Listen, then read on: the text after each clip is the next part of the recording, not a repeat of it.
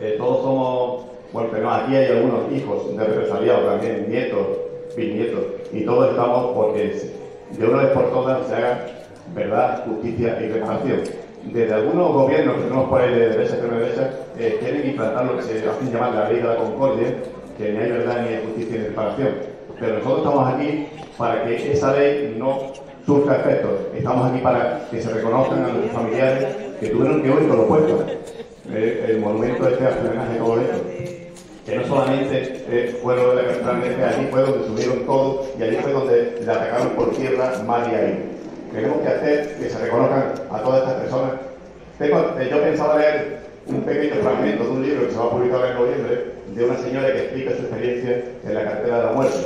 Pero para no alargarme mucho, voy a hacer. Solamente darle la enhorabuena a todas las personas que han hecho posible que el monumento esté aquí, que sigamos poniendo monumentos. El siguiente dice que es en Cártama y el próximo en Málaga, para que todo el mundo conozca lo que pasaron nuestros antepasados. Porque nos educaron, a mí que me educaron en los tiempos del señor dictador, nos dieron su versión de la historia. Y ahora tenemos que hacer conocer nuestra versión, la verdad, no la mentira que nos metieron. Y nada más, solamente muchas gracias por estar y le paso la palabra a Virginia.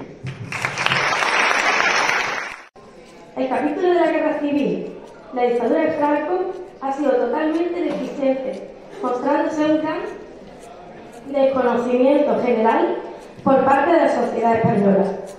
Al igual, por ejemplo, que el feminismo español, con lo que se crea la necesidad de organizaciones políticas, como la mía, Izquierda Unida en mi caso, o de memoria histórica, poner nuestro granito de arena. Es conocido que el sistema educativo debería de ser un sistema que no sea cambiante, según el color del gobierno del momento. Es por ello, pues, que quizás en los ámbitos locales el ayuntamiento, junto con este tipo de asociaciones y colectivos, puedan crear una red de contacto con los centros escolares. En nuestra organización hemos realizado en días como 8M charlas sobre la rebelión de las faeneras. Por ejemplo, hechos ocurridos en Málaga y que apenas se conocen. Igualmente se podría empezar a preparar este tipo de actividades educativas a nivel local. Hay que seguir recordando la lucha de tantas personas que dieron la vida por la lucha de la libertad del pueblo y no olvidar de unas elecciones democráticas municipales en España donde los partidos progresistas republicanos triunfaron. Una España donde el Estado se separaba de la Iglesia. Se apostaba por una educación pública sin precedentes.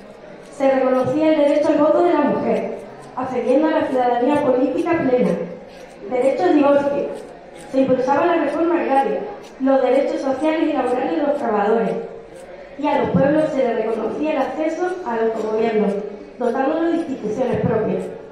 Esto no puede quedarse en el olvido, por lo que creo que debemos reivindicar la importancia de que todos hechos se conozcan. Este monolito hará que cuando se vea, pasemos por ahí, podamos hacer preguntas de por qué. ¿Por qué está aquí? E invita a conocer más todos estos hechos.